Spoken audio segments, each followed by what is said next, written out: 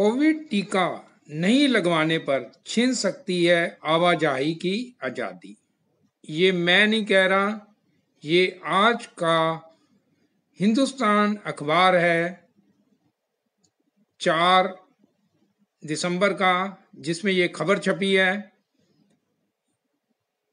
इसके अनुसार क्या कहना है कि अगर आपने कोविड टीका नहीं लगवाया तो आपके आने जाने की आज़ादी छीन सकती है। इस खबर के अनुसार देश के राज्य, जैसे केरल का उदाहरण दिया गया है, दिल्ली का इसमें दिया गया है, तमिलनाडु का दिया गया है इस खबर में कि वहाँ पर क्या क्या पाबंदियाँ लगाने की तैयारी हो रही है।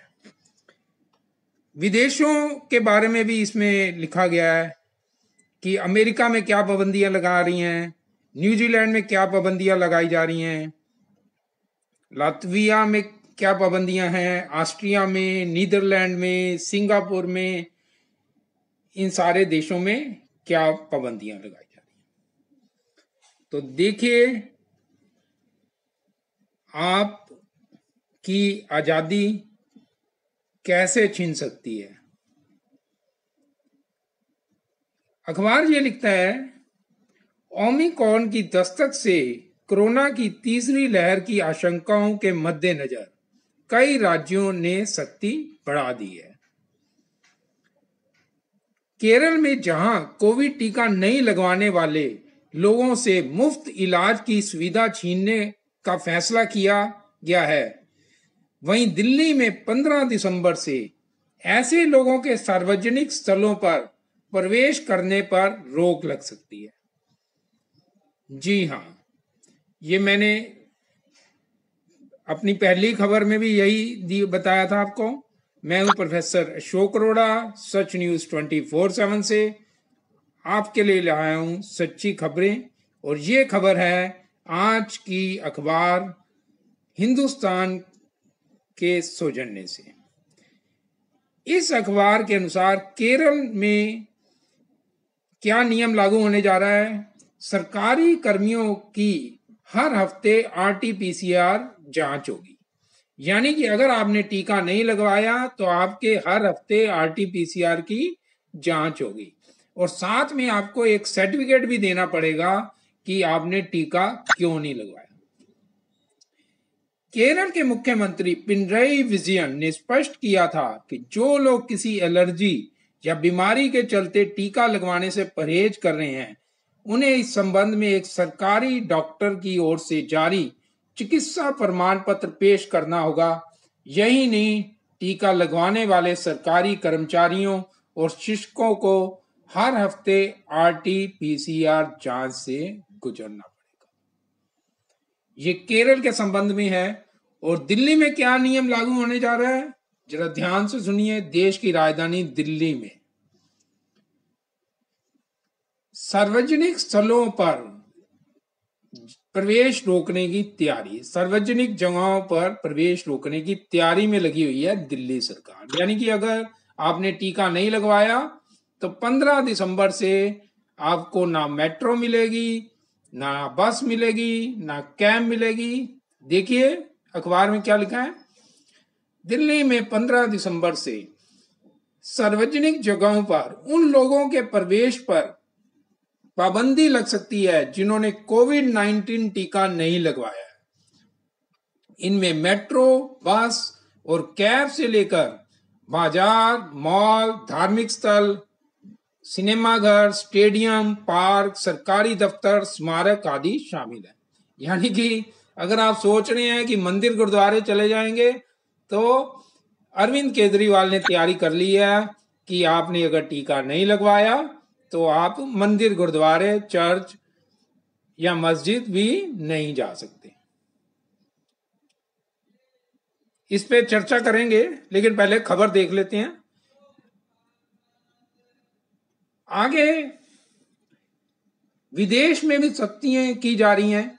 विदेश में, अमेरिका में कई प्रांतों और कंपनियों ने कोविड टीकाकरण अनिवार्य किया। वाशिंगटन वाशिंगटन स्टेट यूनिवर्सिटी ने टीका नहीं लगवाने पर मुफ़्त फुटबॉल कोच को बर्खास्त। न्यूजीलैंड के बारे में खबर है, कोरोना योद्धाओं और शिक्षकों के लिए नो जैब, नो जॉब नीति पेश की। इसके तहत कोविड टीका नहीं लगवाने वाले कर्मचारियों को नौकरियों से हाथ धोना पड़ेगा। शुक्र है ये नौबत अभी इंडिया में नहीं आई है। कि आपने अगर टीका नहीं लगाया तो आपको नौकरी से हाथ धोना पड़ेगा। हालाँकि इनडायरेक्टली तो प्राइवेट सर, सरकारी कर्मचारियों को कहा ही जा रहा है कि आप टीका लगवाइए नहीं तो ना आइए छुट्टी लेकर बैठ जाइए। तो हर तरह की से उनको परेशान तो किया ही जा रहा है। हालाँकि दिल्ली में या भारत में अभी तक टीका अनिवार्य नहीं है भारत चलो, खबर पढ़ते हैं। आगे खबर क्या है? लातविया, कोविड टीका लगवाने से इनकार करने वाले जन प्रतिनिधियों के संसद प्रांतीय असेंबली में किसी भी बहस में हिस्सा लेने या बिल पर मतदान करने पर पाबंदी लगी। ऑस्ट्रेलिया, नीदरलैंड में, ऑस्ट्रिया में टीका नहीं लगवाने वाले लोगों को घरों में कैद रखने का आदेश। देखिए, सरकारों की तानाशाही देखिए, ऑस्ट्रेलिया, नीदरलैंड की सरकार कह रही है कि अगर आपने टीका नहीं लगवाया तो आप घरों में कैद हो जाइए, यानी कि लॉकडाउन में रहिए। और आप सिर्फ़ ज़रूरी सामान की खरीदारी करने के कारण आप सिर्फ़ बाहर जा सकते हो। अभी दिल्ली में ऐसा नहीं हुआ, हो जाएगा। अगर जिस प्रकार की नीतियाँ चल रही हैं, सिंगापुर, टीकाकरण नहीं करवाने वाले लोगों को कोरोना की जद में आने पर इलाज का खर्च खुद उठाना पड़ेगा। सरकार की ओर से किसी भी तरह की नहीं मिलेगी मदद। तो ये देखिए, ये आज का पेपर है हिंदुस्तान, जिसमें जो बड़ी खबर दी है कि कोविड टीका नहीं लगवाने पर आपकी आज़ादी आने जाने की आवाजाही की आज़ादी छीन सकती है। तो अब इस खबर पर कुछ चर्चा कर लेते हैं। मैं हूँ प्रोफेसर अशोक अरोड़ा। आप देख रहे हैं सच न्यूज़ ट्वेंटी फोर मैंने, मैं घर के अंदर हूँ, लेकिन फिर भी मैंने मास्क लगाया हुआ है। ये मास्क मैंने इसलिए लगाया कि मैं आपको बताना चाहता हूँ कि वैक्सीन आपको इतना प्रोटेक्ट नहीं कर रही, जितना ये मास्क प्रोटेक्ट कर रहा है। अगर आपने मास्क लगाया है तो आप सेफ़ हो। आपको इन्फेक्शन नहीं हो सकता। लेकिन अगर आपने वैक्सीन लगवाई हुई है तो तब भी आपको इन्फेक्शन हो सकता है। लेकिन इन सरकारों को कौन समझाए इस बात को? ये तो उल्टे सीधे कानून लागू करने पे लगे हुए हैं। ये सरकारें कह रही हैं कि आप बस नहीं पकड़ सकते, आप मेट्रो में नहीं जा सकते। मैं इनसे एक बात पूछना चाहता हूँ। ये जो मुख्यमंत्री हैं या प्रधानमंत्री हैं अलग अलग देशों के जो ये नियम लागू कर रहे हैं, मेरा अपना शरीर है, मैं टीका लगवाऊं या ना लगवाऊं, ये मेरी मर्ज़ी है ना? या ज़बरदस्ती ठोकोगे।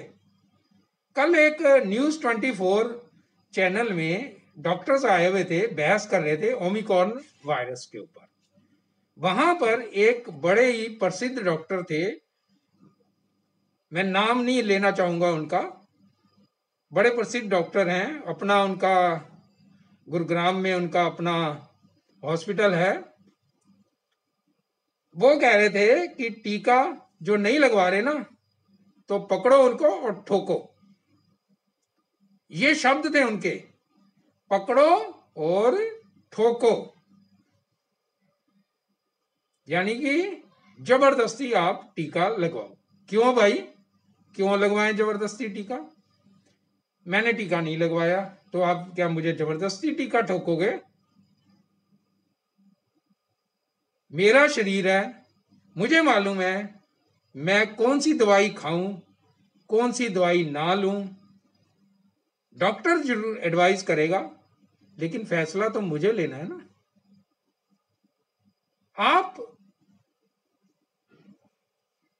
किसी से ज़ोर ज़बरदस्ती कैसे कर सकते हो? हम एक लोकतांत्रिक देश में रह रहे हैं। हमारे लोकतांत्रिक अधिकारों का आप हनन करना चाहते हैं। दिल्ली के मुख्यमंत्री अरविंद केजरीवाल, आप कह रहे हैं, और आपने डीडीएम में Delhi district disaster management committee को ये प्रस्ताव भेजा है कि 15 दिसंबर से हम ये कानून बनाने जा रहे हैं, ये नियम बनाने जा रहे हैं कि आप बस में नहीं सफ़र कर सकते, मेट्रो में नहीं कर सकते, मंदिर नहीं जा सकते, किसी जगह नहीं जा सकते। अरे भाई, आप एक काम क्यों नहीं करते? एक जिन लोगों ने टीका नहीं लगवाया है, उनको एक लाइन में खड़े कर दो और गोली से उड़ा दो, मार दो उनको। सबको गोली मार दो, जिन्होंने टीका नहीं लगवाया। किस्सा ही खत्म। ये तो सरासर गुंडा कर दिया ना। आप किसी के ऊपर ज़बरदस्ती कर रहे हो कि आप टीका नहीं लगवाओगे तो आप बाहर नहीं जा सकते, ये नहीं कर सकते। क्या आप गारंटी देते हो? मैं टीका लगवाने के लिए तैयार हूँ। क्या आप गारंटी देते हो कि अगर मुझे कुछ हो जाता है तो आप मेरे परिवार को पाँच करोड़ रुपया दोगे? कंपनसेशन दोगे मेरे परिवार को पाँच करोड़ रुपया? अगर टीके के किसी साइड इफ़ेक्ट से मेरी जान चली जाती है तो क्या आप दोगे? आप लिख के दो, एफिडेविट दो, मैं लगवाने के लिए तैयार हूँ। नहीं दे सकते ना तो आपको किसी से ज़ोर ज़बरदस्ती करने का भी हक नहीं है। ये मैं उन सरकारों को बताना चाहता हूँ जो ये नियम बना रही हैं। चाहे वो दिल्ली सरकार हो, चाहे वो कर्नाटका की सरकार हो, कर्नाटका में भी ऐसा ही एक नियम लागू आज हो रहा है कि वहाँ भी पब्लिक प्लेस के लिए आपको वैक्सीन लगवानी ज़रूरी है। सबसे सीधा सवाल यह है कि वैक्सीन आपको इन्फेक्शन से प्रोटेक्ट नहीं करती। प्रोटेक्ट क्या करता है? आपको मास्क डॉक्टर्स ये कहते हैं कि वैक्सीन से ठीक है इन्फेक्शन होगा, लेकिन माइल्ड होगा। लेकिन वैक्सीन जिसने लगवाई हुई है, वो दूसरे को इन्फेक्शन फैला सकता है। उसको नहीं रोक सकते। तो फिर वैक्सीन कंपलसरी क्यों? क्यों ज़बरदस्ती?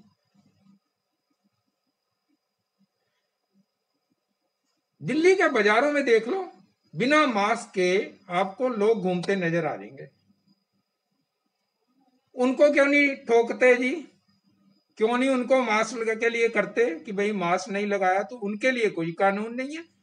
भीड़ में जो नेता लोग हैं, वो सारे कहीं भी सेमिनार में चले जाओ, मैं खुद कवरेज के लिए जाता हूँ। बहुत कम दस परसेंट लोगों ने मास्क लगाया होता है नाइन्टी परसेंट लोगों ने मास्क नहीं लगाया होता। उनको ठोको, उनको पूछो, आम जनता पे ही आप प्रतिबंध लगा रहे हो, प्रतिबंध लगा रहे हो? जब चुनाव आते हैं तो सारे नियम कानून खत्म। जब चुनाव आते हैं तो सारे नियम कानून खत्म। और अब जब ओमिक्रॉन आ गया है तो अब आपके, आपको नियम कानून याद आ गए हैं। और ओमिक्रॉन अगर इन्फेक्शन हो भी गया तो वो एक माइल्ड है, कोई अभी गंभीर बीमारी नहीं है। आपके शरीर में नेचुरल इम्यूनिटी आएगी। और जो नेचुरल इम्यूनिटी होती है, वो सबसे स्ट्रांग होती है। मुझे जून में कोविड हुआ था। उसके बाद दोबारा कोविड नहीं हुआ। मैंने इंजेक्शन भी नहीं कोई वैक्सीनेशन भी नहीं किया। डेढ़ साल हो गया मैं सुरक्षित हूँ बाहर भी जाता हूँ। लेकिन मास्क हमेशा पहनता हूँ। मास्क नहीं, नहीं उतारता। तो मुझे प्रोटेक्शन किसने दिया है? मास्क ने। वैक्सीन मैंने नहीं लगवाई। मैं ये नहीं कह रहा कि आप वैक्सीन ना लगवाओ। लेकिन कोई वैक्सीन लगवाए या ना लगवाए, ये उसकी अपनी इच्छा कि वैक्सीन पे कई लोगों के साइड इफेक्ट्स हो रहे हैं। कई लोगों की, मेरे कई नॉन में कई लोगों ऐसे हैं जिनकी जान चली गई। हार्ट अटैक्स हो रही है लोगों को। लेडीज़ को दिक्कत आ रही है। कई लेडीज़ को गायनी प्रॉब्लम्स हो रही हैं वैक्सीन लगवाने के बाद। कई केसेस आए हैं, मेरे नोन में आए आए हैं, कुछ जानकारी में आए हैं कि 40 प्लस एज की और वीमेन के जिन्होंने वैक्सीन लगवाई और उसके बाद उनको ब्लीडिंग होगी और उनको यूटेरस तक उनका रिमूव करना पड़ गया।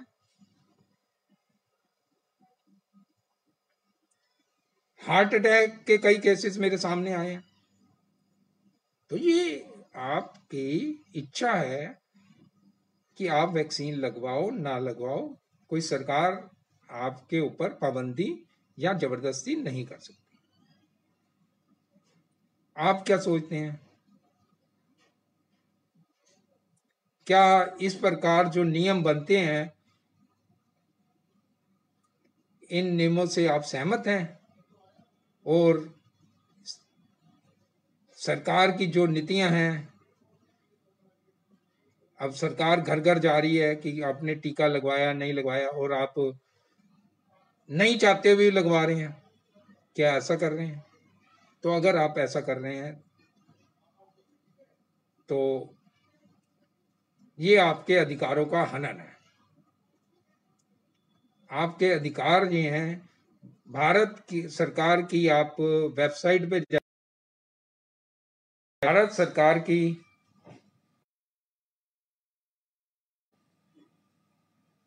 स्वास्थ्य मंत्रालय की वेबसाइट पर जाइए, उस पर लिखा हुआ है कि वैक्सीनेशन इज़ मैंडेटरी ये कंपलसरी नहीं है, कोई ज़रूरी नहीं है।